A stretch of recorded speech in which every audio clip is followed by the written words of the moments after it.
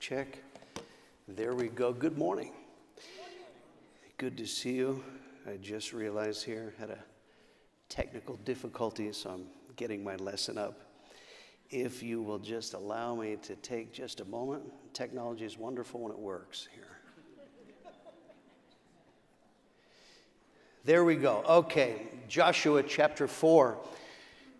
Uh, we're going to continue on in a series that I began uh, called Memorial Stones. And what we're looking at is just the history of our fellowship. And uh, we began, I told the, the story of my parents' conversion and uh, ministry. And then we're, we started last week looking at uh, uh, from the time my parents came in 1970. And so now we're into the Jesus movement.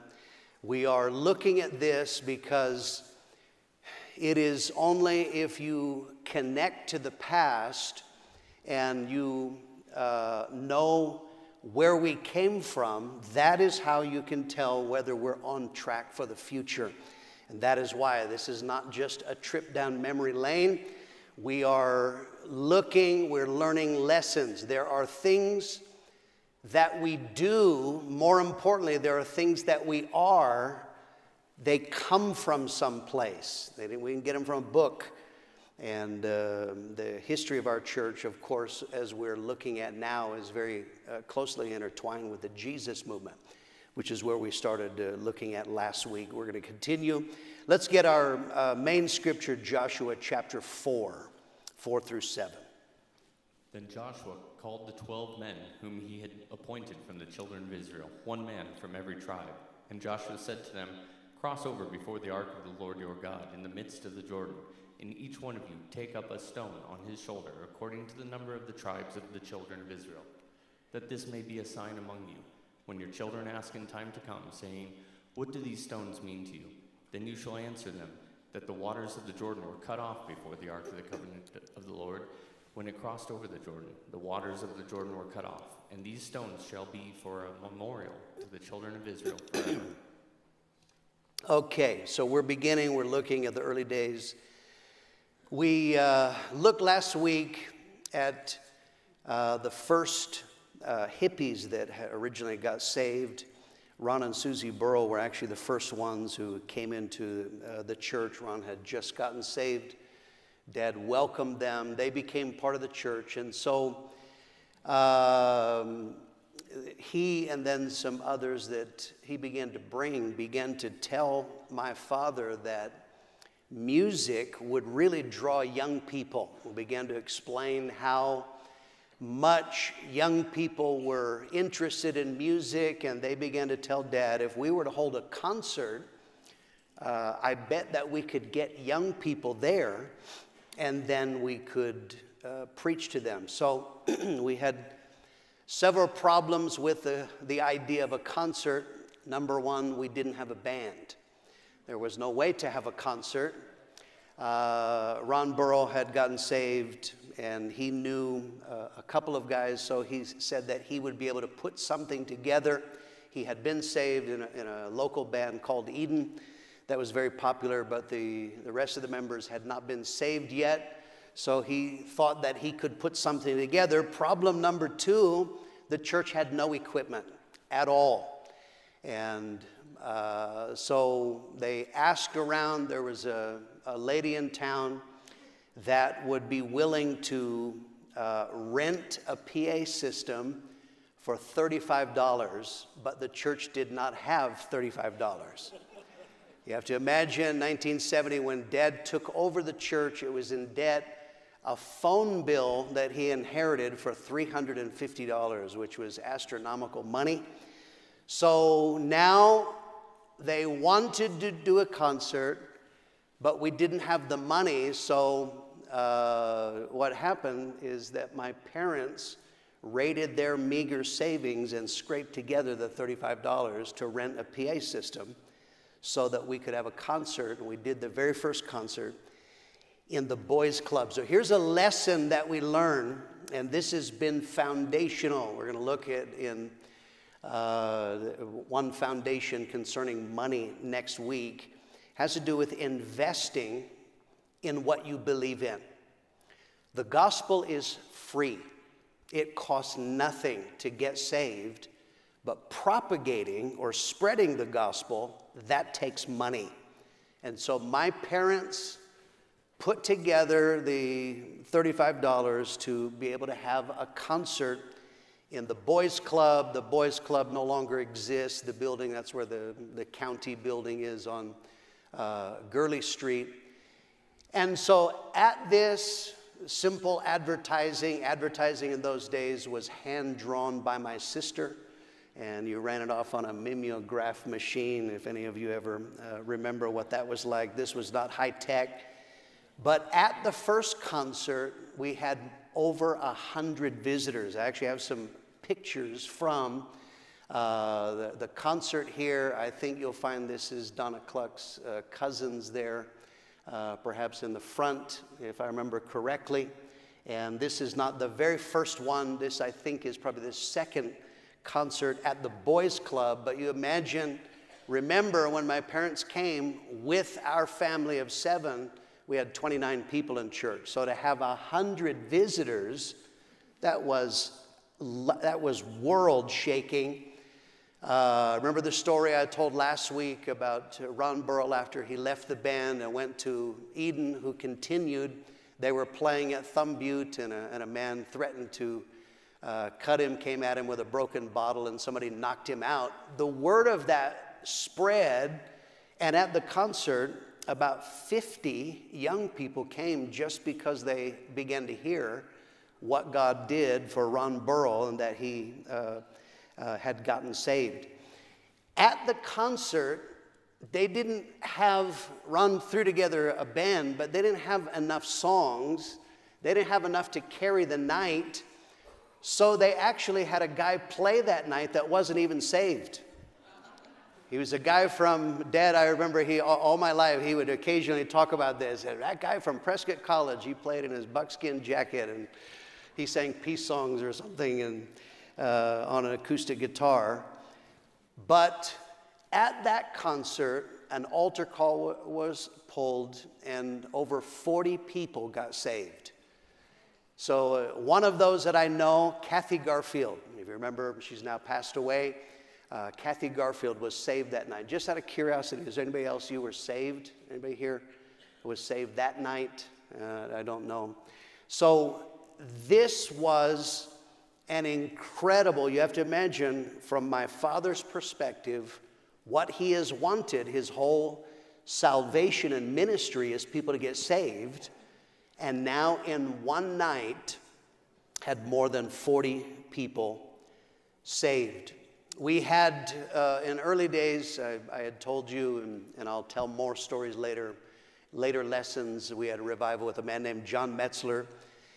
Another man that my dad uh, somehow had connection with was a man named Bob French. I'll put up a flyer here. This is not the actual revival flyer. You see how high tech this flyer was. Now we were to printing stage by. Uh, this was actually one of the early conference flyers, but that was Bob French. Bob French came and uh, the revival was very good. But one of the things that happened is that Bob French began to tell my dad, Dad was so excited, you won't believe, look at these hippies that are coming in, these young people that are getting saved. My dad was thrilled.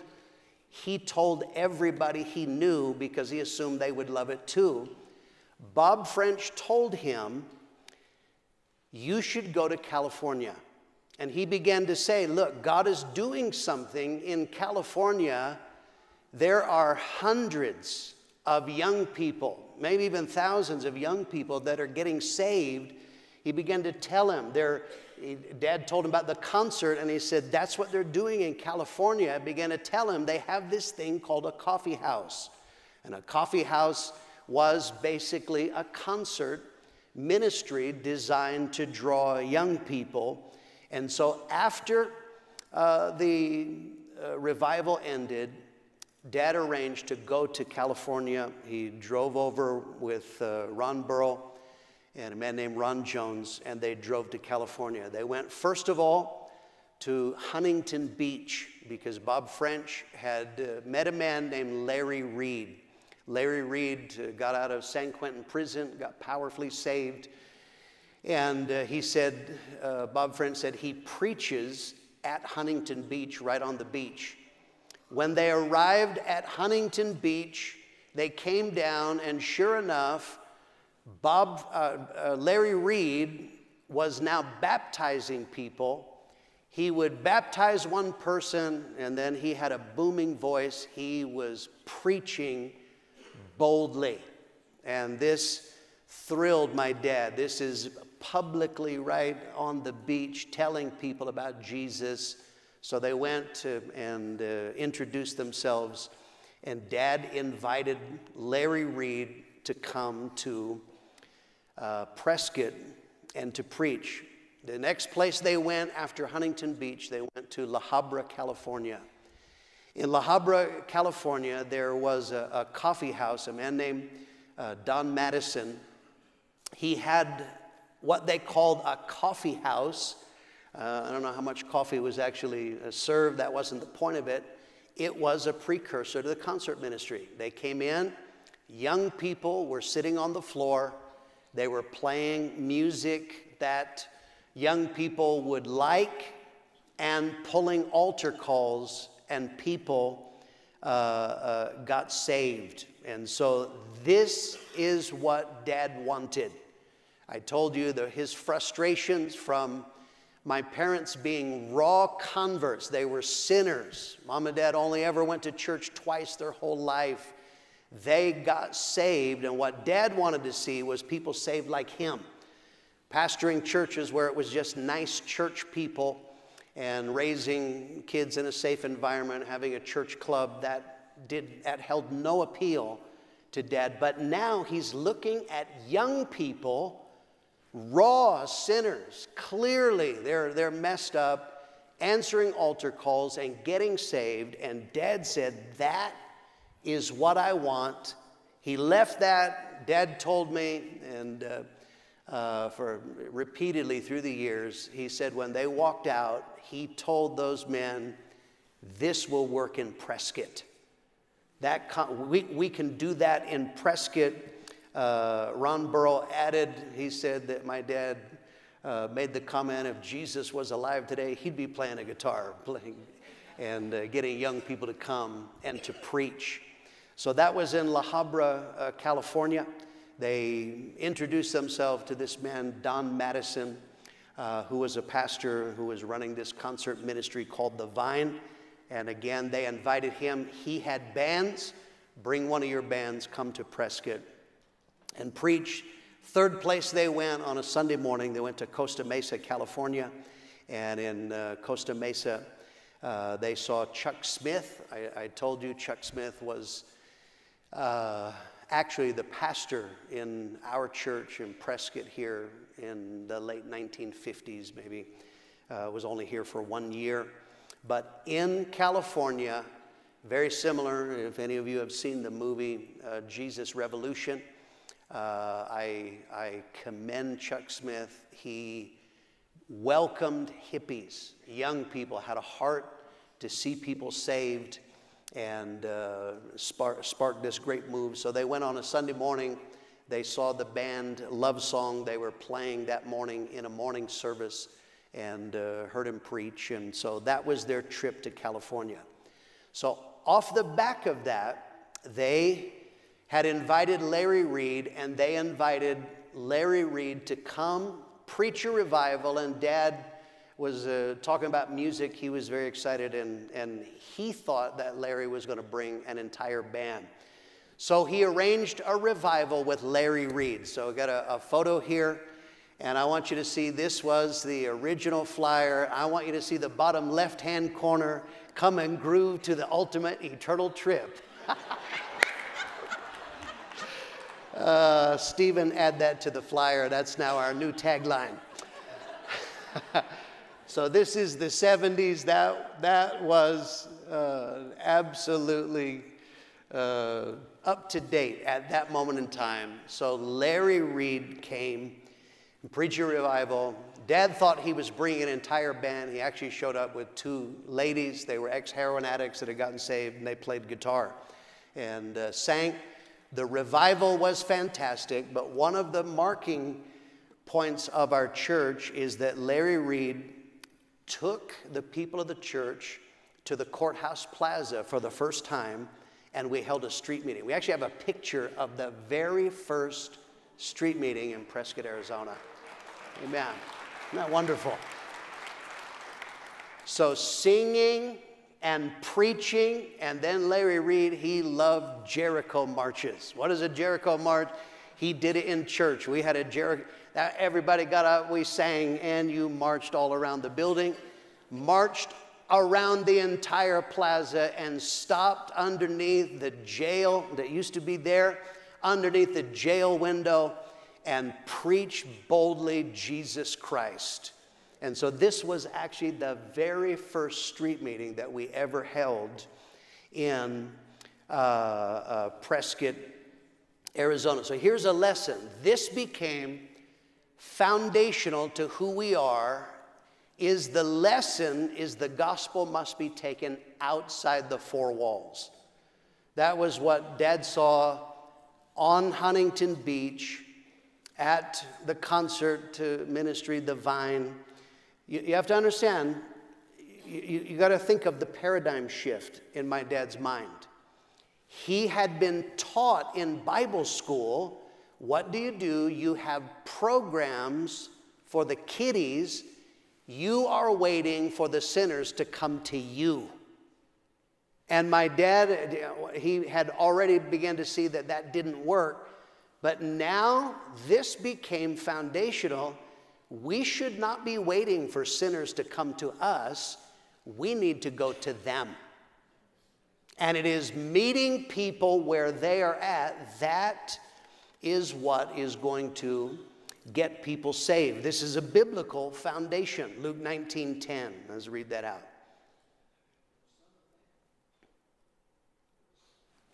Over here. Microphone. For the Son of Man has come to seek and to save that which was lost. Okay, so this is Jesus. He's explaining his ministry. The ministry of Jesus Christ is what we should copy and so, uh, why is he saying this? They're complaining to the disciples, uh, your, your teacher, he, he hangs out with sinners. And Jesus says the Son of Man came to not wait in church for them to come, to seek and to save. That is the ministry of Jesus Christ. Luke 14 23. Next microphone.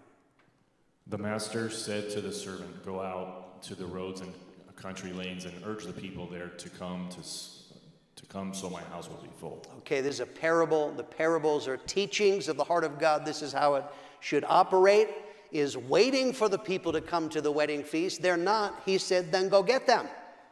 That is our call. That is absolutely foundational to who we are. You want to understand what is different about the potter's house than most churches in our city is very simple.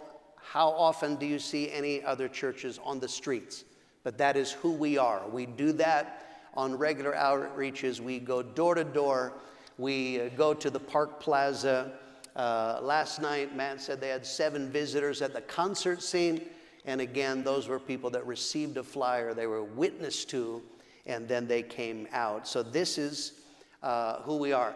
In that revival with Larry Reed, now it began to grow uh, in, in the revivals with John Metzler, Larry Reed. Now, everyone getting saved, a mark of salvation is witnessing, and people came. In a moment, I'm going to show you a video. I want you to keep in mind the building on Lincoln Street held 65 people.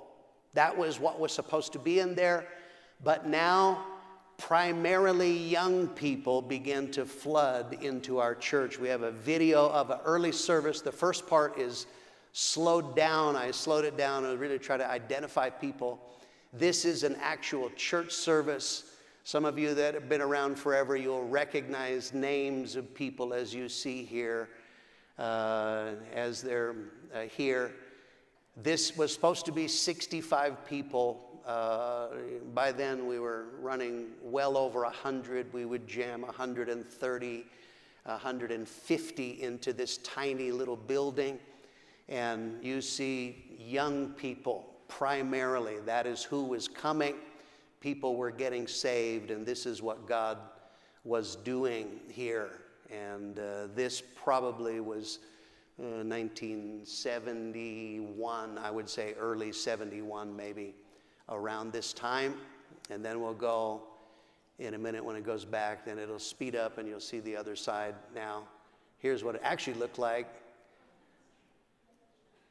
Young people excited. My dad had a great fashion taste, but Larry Reed Right there, that was Larry Reed. This was a Larry Reed revival. Oh, that God would do this again and would give us a wave of young people. Sharon Allen on the organ. God was doing so much. Thank God. And the young people, because we quickly overwhelmed the seats, you saw they had to fill the altar space. When Sharon got up to play the organ, she could not leave. It was not possible to get back to a seat. She had to sit there through the entire service because God began to move, and this was a supernatural work of God. Okay, now a lesson, I, I mentioned it last week. I want to emphasize this. The lesson I want to uh, emphasize imagine now young people are coming in. Hippies, many of them, they were a mess. They smelled, they had problems, they didn't wear shoes, all kinds of different issues. The lesson is on receiving and welcoming those that God brings. When my parents took over the church, the church, as I said, there were 22 besides our family in the first service, very nice, straight, and, and a lot of uh, uh, older people.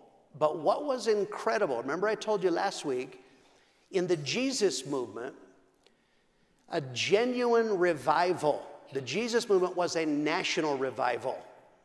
I, I, said a revival is not an advertised meeting. It is not simply people came and worshiped. It is when God is drawing people supernaturally all across America and then even in other places. I was talking to Dave Marks. He said when the Jesus movement hit in America, it also uh, was in Canada. God began to bring young people, not just to our church, every kind of church, of every flavor. There was a, a, a stirring that is only of the Holy Spirit. They came. Dave Mark said in his church, he was excited. He began to witness on the streets. Hippies are coming in, and the church rejected them. We do not want people like that. One of the remarkable things is that in our church, these nice, straight, older people welcomed sinners. I want to put up a picture. Here are three of the saints that were originally in. From the right, Maria Garcia. She was already in the church when dad came. Mildred Ules was the piano player in the church. On the far left, Marcella Burgess. Marcella Burgess was born in 1898. Do you understand this? 1898, hippies came in, and these ladies welcomed them. Harold Warner lived with Marcella Burgess. This, I want you to understand, this is an incredible thing that God was doing. If God gives us a wave of revival again, the question is some of you are no longer young hippies. You, that's you. Right? I know, some of you feel like you were born in 1898. We were able to hold on to what God did because of people who had hearts like them.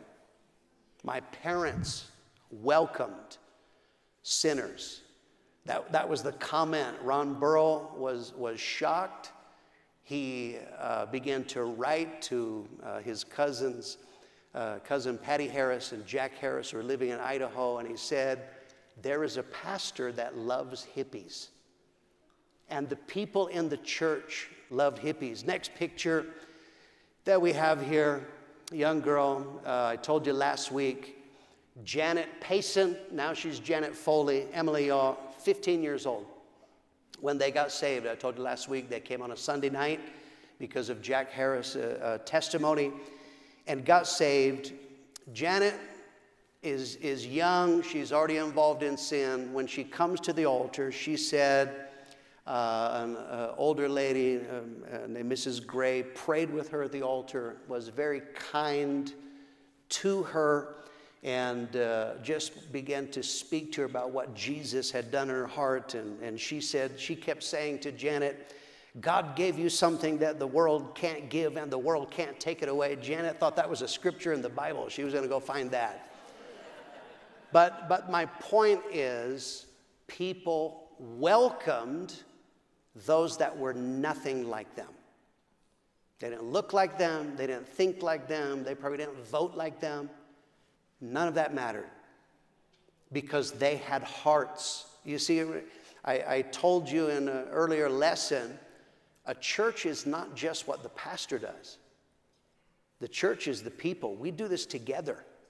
It doesn't matter if the pastors are doing the best they can, if God's people don't receive and welcome those that God brings, then we can't hold on to it. Early days, a, a, famous story from the early days, we had a man that he brought his dog to church.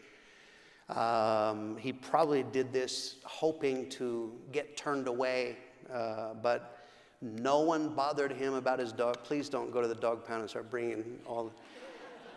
But my point is, no one hassled him. Not only did no one hassle him, his dog peed on the carpet and he tried to clean it up using bleach.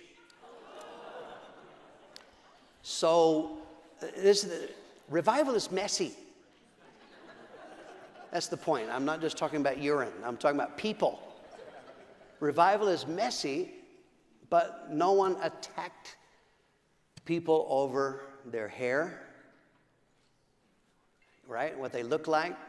They welcomed them so that Jesus could change them. So here, here's my point revival, when God brings in a wave of people, and, and let's face facts, historically, revival is primarily young people.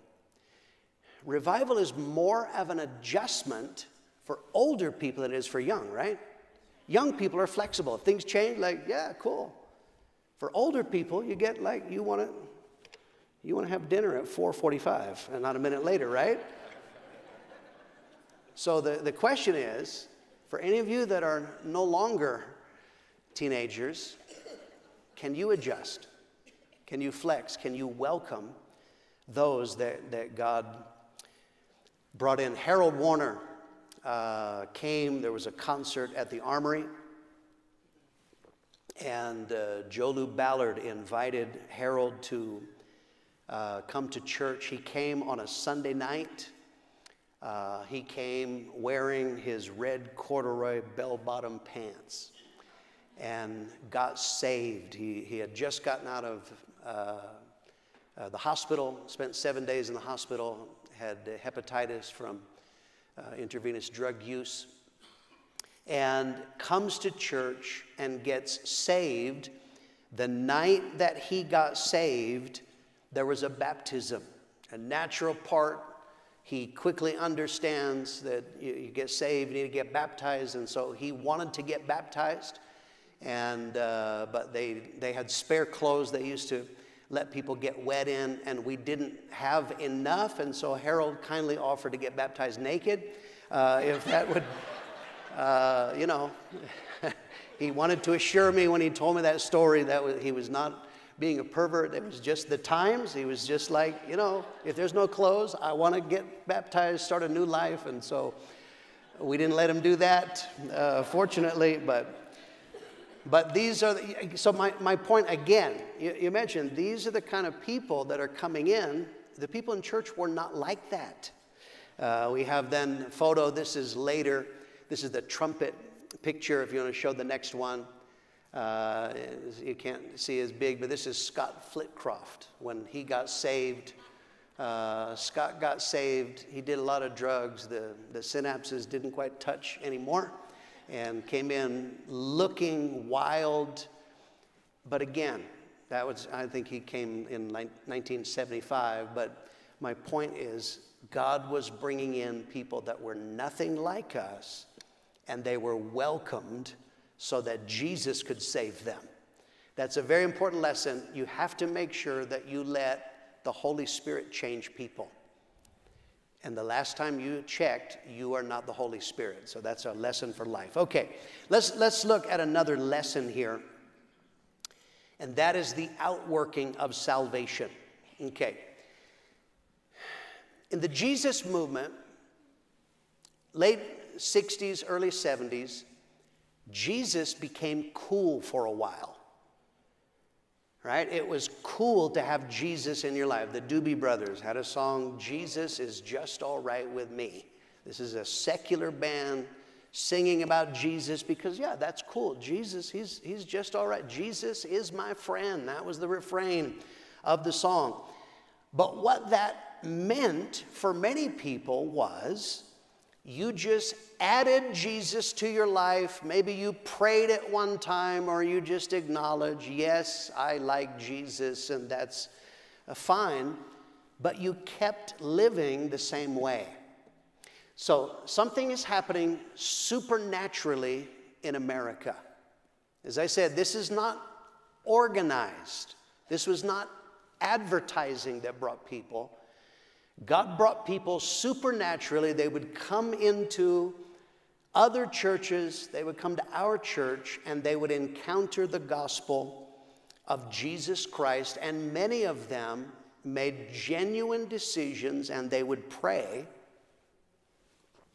But what happened in most churches was they added Jesus to their life and then they continued to live the same way whether that was actual sin or whether that was just uh, how you preferred hippies love to wander. So often, what would happen?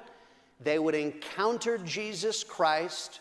They many times would genuinely mean it, but then they just keep living their lifestyle. They often would wander, not connected to a church. And so, what happened is of the multiplied thousands upon thousands that God was saving all across America, not just in our church, most of that was not retained.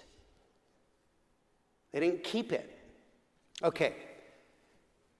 Pastor Mitchell, my father, Wayman Mitchell, he doesn't view salvation that way. And he began to preach true conversion is a surrender to God's will. Sin is simply rebellion.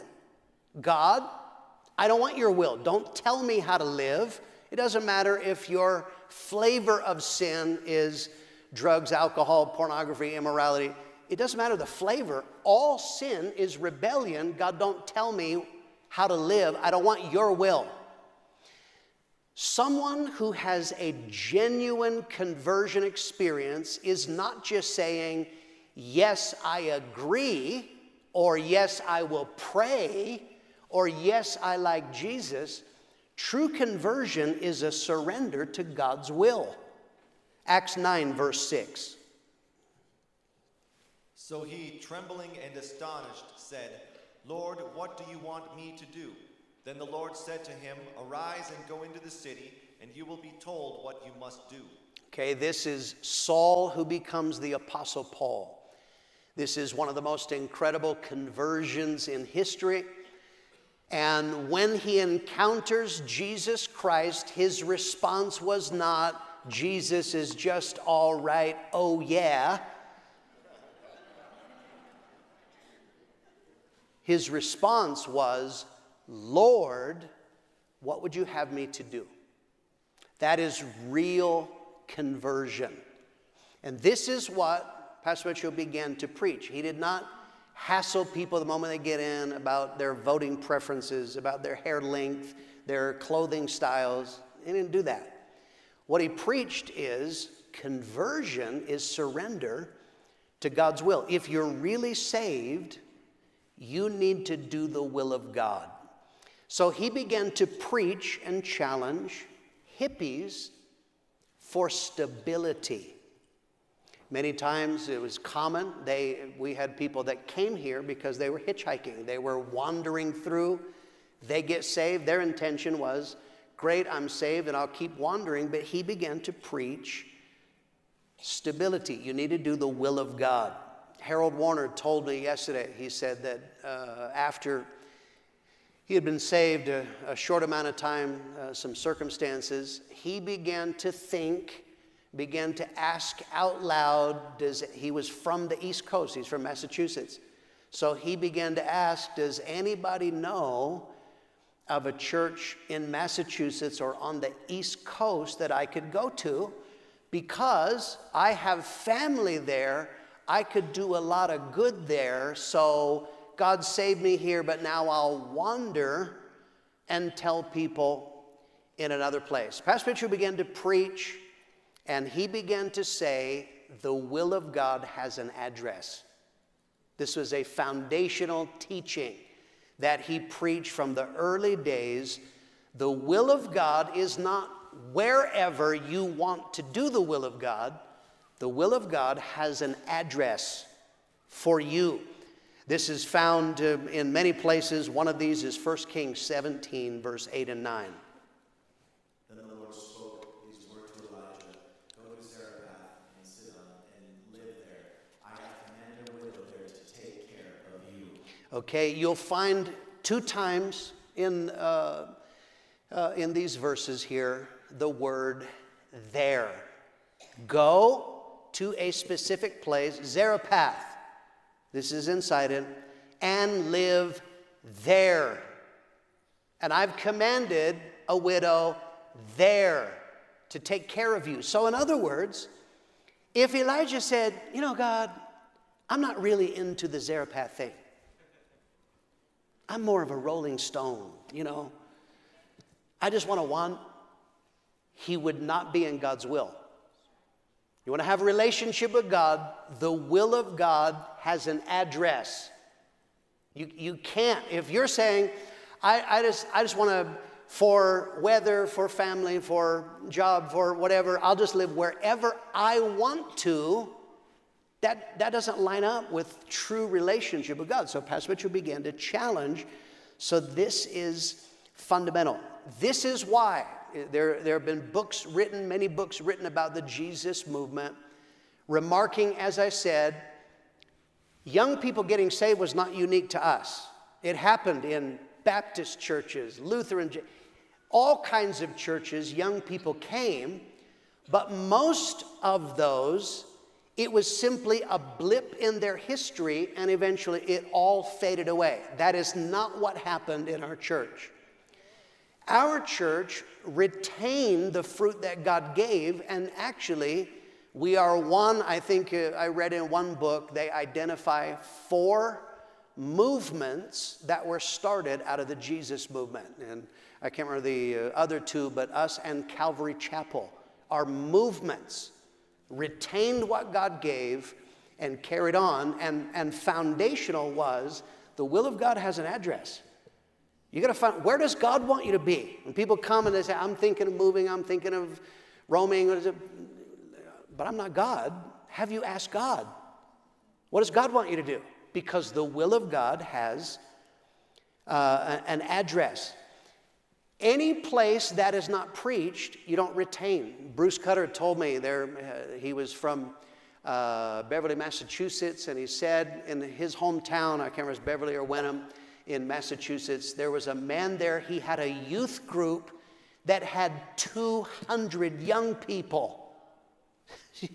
that is a church. And he just said, uh, you know, just find a church. That doesn't exist today. It didn't carry on. But when you're preaching, conversion is surrender to God's will. And part of that is the will of God has an address. You retain it. And so, anytime you have people surrendering to the will of God, Remember Elijah, Elijah, when God said, Go to Zarephath, it is because God wanted to use him. The point of salvation is not just you getting to heaven.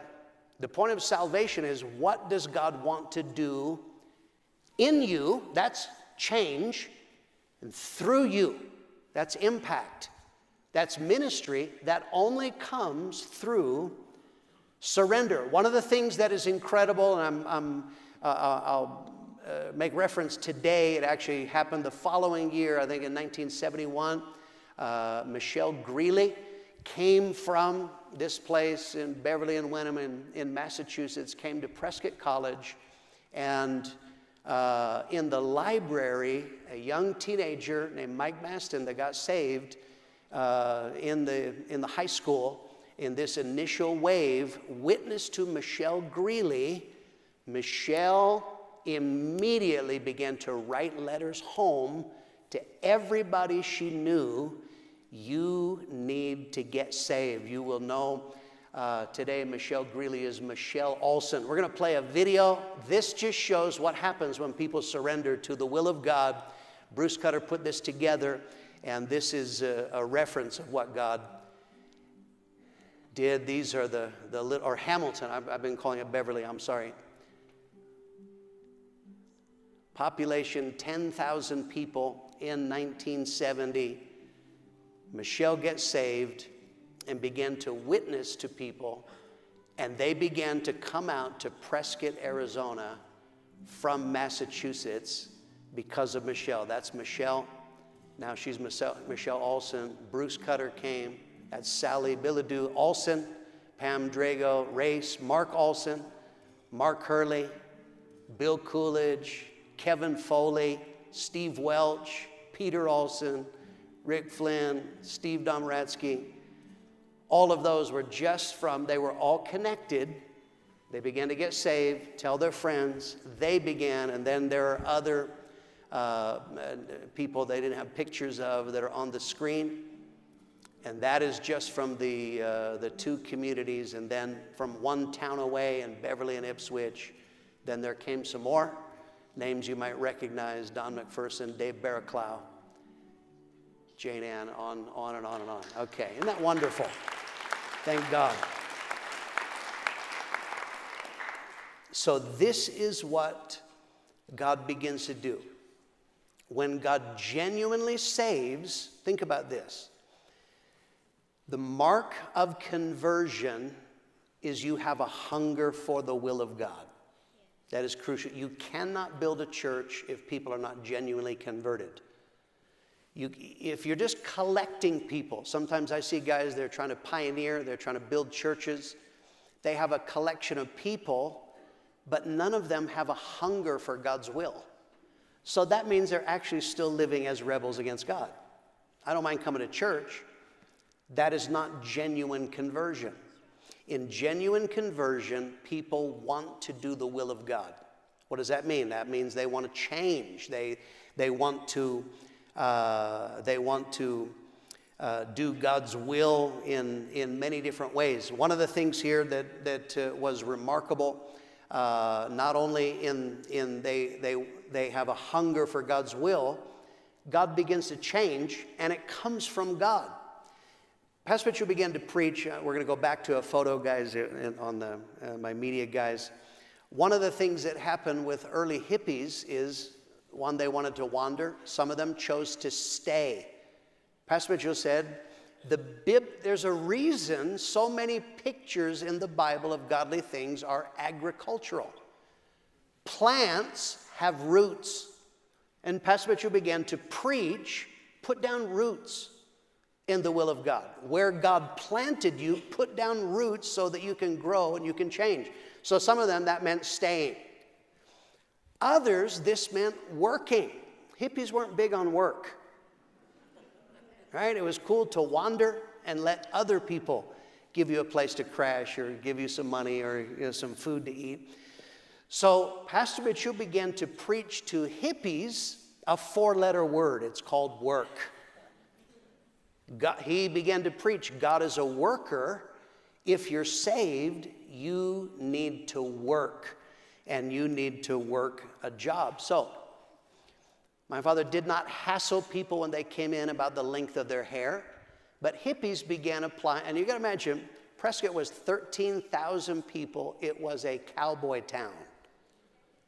We, we have stories in early days of uh, uh, late 60s, early 70s of cowboys that would catch hippies and with their pocket knife would give them a haircut. That was the kind of community. So now these hippies say, I want to stay here. And they're applying to redneck business owners, I would like a job. And they begin to discover my hair is hurting my job chances. Dad often would say through the years, one of the early guys, he went and applied for a job and he tucked, he put on a hat, tucked his hair up in there. He was going to fool them and, and uh, get a job. So, as a result of what God was doing, some of them began to say, I'm going to get a haircut. And that was revolutionary when they began to decide to, to do that. Harold Warner, when he got saved with his long hair and his red corduroy, corduroy bell bottoms, he decided he wanted to get a job. Uh, he said he tried a, a, logging job that lasted two weeks. Another one, I can't remember what the, I think he worked in the library at Prescott College for a short amount of time. And then he applied at the Food Queen supermarket, and the person interviewing him was a man named Charlie Foster. And Charlie Foster explained to him that he had fired the last three young guys for taking drugs. And Harold said, No problem. I, Jesus changed me. I don't take drugs anymore. And so Harold got a job. We got a picture. This is actually from the newspaper. Is this is Harold in his meat market whites at uh, working at the Food Queen supermarket. Harold began to witness to Charlie and Marcia Foster. And he said, I wasn't afraid of Charlie, but Marcia scared me. Harold witnessed to everything that moved. He got in trouble as people would place a meat order. He would wrap their meat and stick gospel tracts in there, which many people did not appreciate. But on breaks and on lunch, he began to witness two young men that lived across the street from the Food Queen supermarket. They lived next door to Greg Malinowski is uh, Gary Guptill and Roger Fisher. And Harold Warner began to witness to them when they would come in to the supermarket and then began to catch them outside of that. Gary Guptill is here this morning because he got saved. Harold Warner, the hippie, worked a job. Not only did, was he saved and going to heaven, but because he connected himself to God's will, God began to use his life. That is true for you, and that's, that's universal. I want you to understand the will of God is foundational to who we are as a church. You hear preaching, this is now 53 years later. You will hear myself or Pastor Jesse or Pastor Stephen, or Pastor Hart, you will hear us preach about the will of God. When you come to our conferences again and again, because we believe if God is going to use our lives, it starts with, Lord, what do you want me to do? And if you make up your mind to do the will of God, not only does God use you personally, like Harold Warner witnessing to Gary Guptill, or Roger Fisher, different ones that he won to the Lord. And, because of his witness, later on, Charlie and Marcia were saved uh, uh, as a result of that. He can use your life personally, but then if you connect yourself to God's will in a local church, you become a part of everything the church becomes. We now have from our church, we began, and that's later lessons, planting churches we now have 3,300 churches around the world because people said, I want to do the will of God. Lord, what would you have me to do? If you want me to be in a place, I'm going to be in a place. You want to be in a ministry? I'll be in a ministry.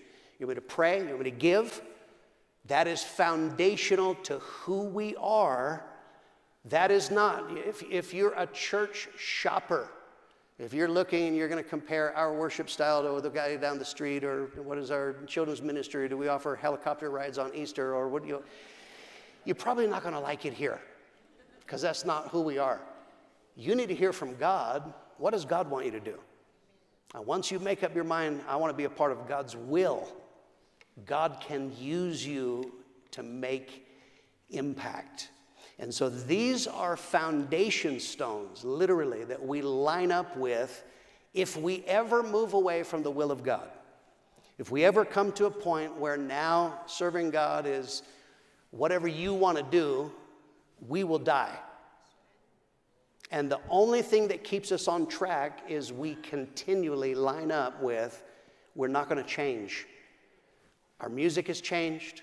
It's not the same as it was in 1970. It may evolve you know, over time. That's fine. But the foundation stones of God's will, conversion, welcoming sinners, that will never change. But that's a choice. I can't make that choice for you. That's what I'm going to do.